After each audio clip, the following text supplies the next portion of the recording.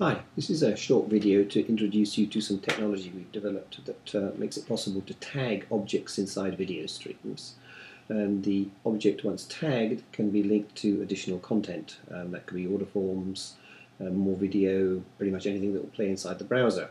So uh, we can tag any object inside uh, a video stream that plays out in the browser. It's a non-flash technology and it'll run on iPads, iPhones, tablets, smart TVs, laptops, desktops, pretty much anything really.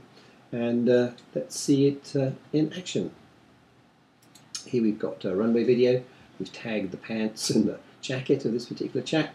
And uh, if I touch or click on something that I like or the interest of, I can uh, pop up a dialog box. And uh, in the dialog box, I can now make choices about my size, the color, and stuff like this.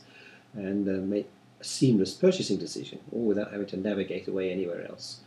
decide what I want to buy, and then uh, click on the buy button and the item would be placed into my basket for delivery to wherever I'd chosen. And then uh, once I've made my choices I can navigate back to the stream and uh, continue watching. Uh, in this example we've tagged um, his shorts and his jacket and we've also tagged uh, this gentleman's clothing as well. So here we've got four items being tracked and tagged or marked and tracked across the screen and uh, clicking or touching on an item would bring up the uh, purchasing dialog box, creating a very sort of seamless, easy to consume way to purchase products. In this example, we've tagged some items in a popular TV show, and uh, with this methodology, we're building up a list in the panel on the right-hand side of things that we're interested in.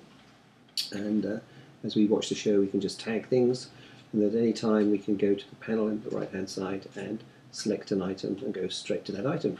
Pretty neat.